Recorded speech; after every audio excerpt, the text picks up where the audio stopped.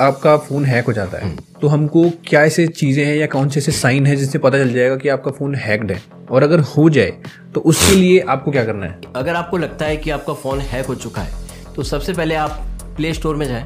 Play store में play protect setting आती है।